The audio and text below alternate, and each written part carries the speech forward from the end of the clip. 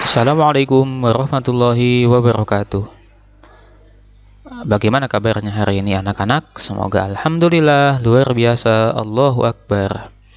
Semoga kita selalu dalam lindungan Allah Subhanahu wa taala terjaga dari COVID-19.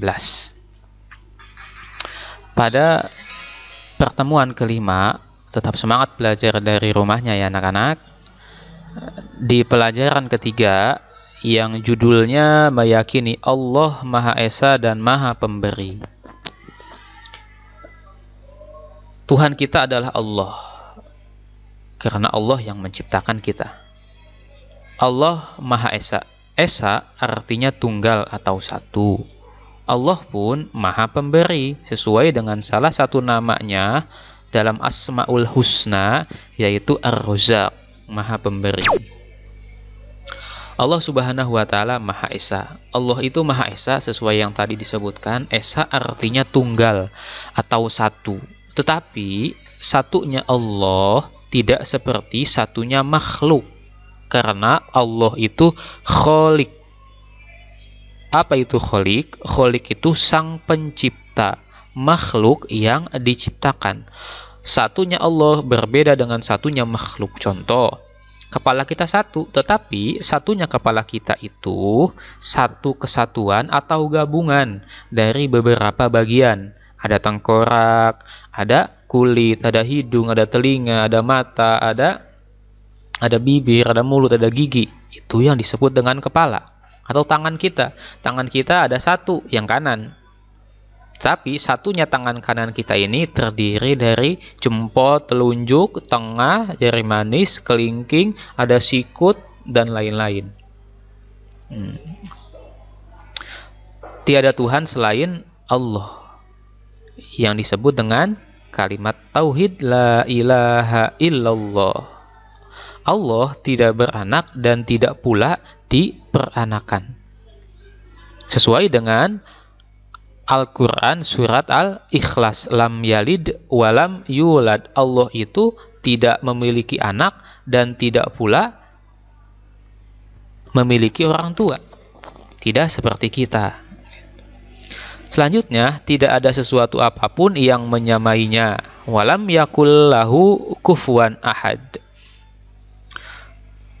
Allah itu tidak ada yang menyamainya dalam segala hal, dalam kerajaannya, dalam esaknya, dalam maha pemberinya, maha pengasihnya, Allah tidak akan sama dengan makhluknya.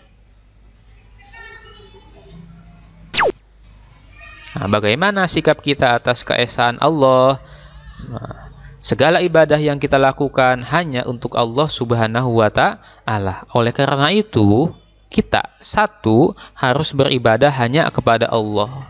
Kita tidak boleh menyembah kepada selain Allah. Menyembah patung misal, menyembah berhala, menyembah salib misalnya tidak. Dua, kita tidak boleh menghambakan diri kepada selain Allah. Apa itu menghambakan diri? Patuh, menyembah kepada selain Allah. Gimana kalau patuh sama orang tua, patuh sama guru, patuh sama uh, kakak kita misal? Nah, kalau itu memang Allah dan Rasulnya perintahkan patuh kepada pemimpin atiullaha wa atiur rasul wa ulil amri minkum tuh kalau yang memang Allah perintahkan untuk patuh maka kita harus patuh kepada kepada mereka. Yang ketiga kita tidak boleh menyekutukan Allah dengan sesuatu apa pun. Apa sih menyekutukan? Menyekutukan itu memusyrikan. Aduh pak nggak tahu juga memusyrikan. Memusyrikan itu menyembah kepada selain Allah atau mengatakan bahwa ada Tuhan lain selain Allah. Dia yakin Allah itu Tuhan, tapi dia juga percaya kalau misalnya ada Tuhan selain Allah. Itu namanya menyekutukan. Tidak boleh ya. Kenapa?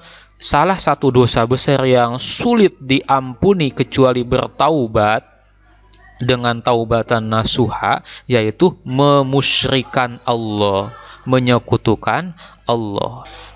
Kita percaya bahwa Allah Maha Pemberi, tapi kita juga meyakini bahwa kita tidak akan punya uang kalau tidak diberi sama orang tua. Kita tidak boleh meyakinkan bahwa yang memberikan uang, yang memberikan rizki itu adalah orang tua. Tetap yang memberikan rizki kepada kita Allah tetapi melalui perantara orang tua kita.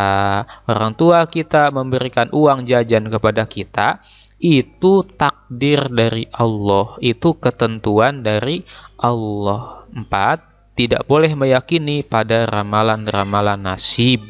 Kenapa? Semua yang terjadi di alam dunia ini, walaupun hanya daun yang jatuh dari pohonnya, walaupun hanya hal sekecil apa pun itu adalah takdir dari Allah, kodo dan kodar dari Allah Subhanahu wa taala. Oleh karenanya, yang kelima kita harus selalu memperbanyak zikir kepada Allah. Apa sih zikir?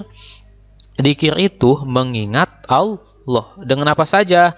Bisa dengan tiga hal. Yang pertama dengan lisan, dengan lidah kita, dengan menyebutkan subhanallah, walhamdulillah, Allahu akbar, la ilaha illallah. Itu namanya zikir dengan lisan, dengan lidah, dengan mulut kita. Yang kedua bisa di, juga uh, zikir dengan hati. Gimana zikir dengan hati? Kita subhanallah, subhanallah, subhanallah dalam hati kita kita ucapkan dalam hati atau kita meyakini bahwa apa pun yang kita miliki, apa pun yang kita dapatkan, apa pun yang kita punya, itu adalah pemberian Allah juga termasuk zikir. Yang ketiga, bisa zikir dengan anggota badan kita. Dengan apa? Dengan rajin bersedekah, dengan rajin membantu teman, dengan rajin belajar, itu juga termasuk zikir kepada Allah Subhanahu wa taala. Hmm, tugasnya, tugasnya pada pertemuan yang kelima ini, kalian tolong buat, bisa buat video atau rekaman suara voice note bacaan Quran surat Al-Ikhlas 1 sampai 4 dan artinya nanti bisa kalian kirimkan ke Bapak. Demikian untuk pertemuan kali ini. Semoga kita dilindungi oleh Allah Subhanahu wa taala, semakin yakin Allah Maha Esa sehingga kita semakin rajin beribadahnya. Ingat ya, beribadah bukan cuma sholat saja. Beribadah, belajar yang rajin, membantu orang tua, membantu kakak, membantu ayah, ibu juga termasuk ibadah. Mengaji ibadah. Demikian Bapak akhiri. Assalamualaikum warahmatullahi wabarakatuh.